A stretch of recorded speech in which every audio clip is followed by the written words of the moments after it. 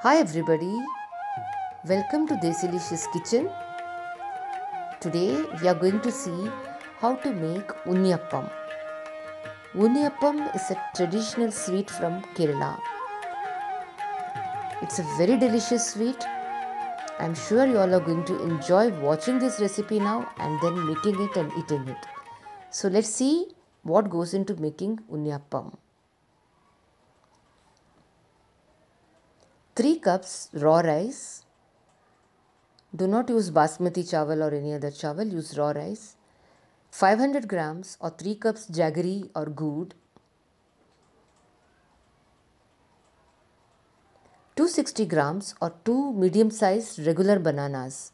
Traditionally, Palayankodi banana is used in Kerala, but we have used the regular bananas as this is what we get here in Mumbai. The chopped bananas weighed 250 grams. 1 teaspoon cardamom hmm. powder or elaichi. We have ground the cardamom is sugar, that is why the white color in the powder.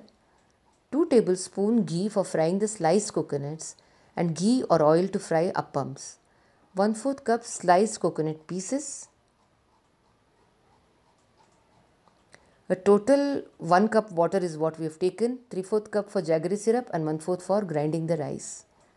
Salt to taste Wash and soak the rice in water for at least 7 hours.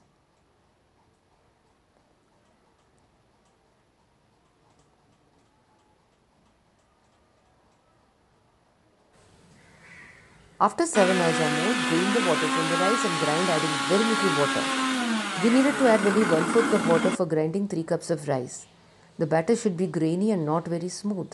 This ensures good texture for appam. Add the chopped bananas to the ground rice and mm. again grind it along with the batter now.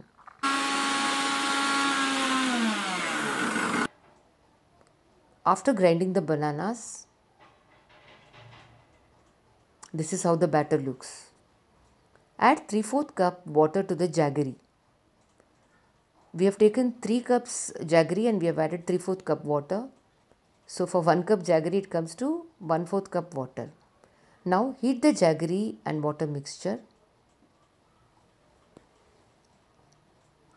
The jaggery will melt slowly but we have to watch for the consistency of the jaggery syrup. This is very very important. We don't need the soft ball consistency but it shouldn't be too watery. As soon as it starts becoming sticky and syrupy, we have to do our test to see the test is add one drop of water to a bowl, one drop of jaggery to a bowl of water.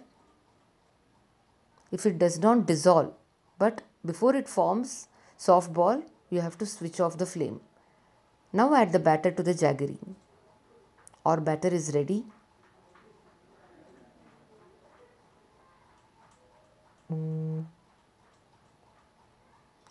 Add cardamom powder now. Add in the salt.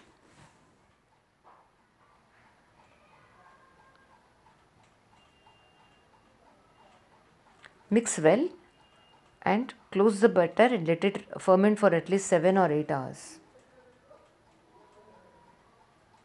Now after 8 hours take the 1 4th cup sliced uh, coconuts and fry them in ghee for this heat ghee in a pan. Fry the sliced coconuts until they turn golden brown. Keep stirring.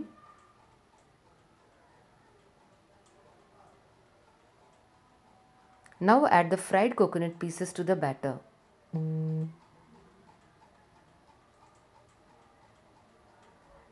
This is the appam pan Add 1 tablespoon ghee into each of the slots. You can also use coconut oil, but we prefer to use ghee. Ours is an iron pan. Now pour the batter into each slot.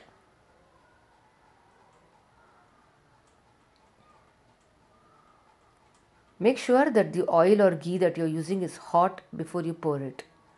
But keep the flame medium while pouring the batter.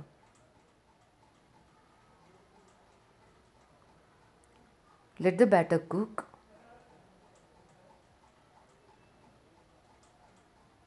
Slowly flip it to the other side and let it cook on the other side too.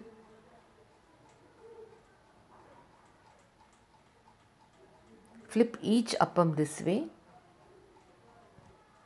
and let it cook on the other side now for less than a minute or so. Make the rest of the appams this way.